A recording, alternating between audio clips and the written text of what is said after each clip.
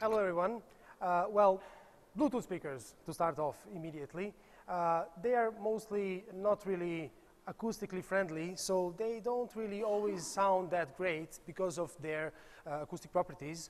So what do we do actually in this situation? Well, maybe we could have something that sounds a little bit better. So maybe this. Hmm. This is not that loud, it is, but hmm. Let me put it down. This is the bass egg.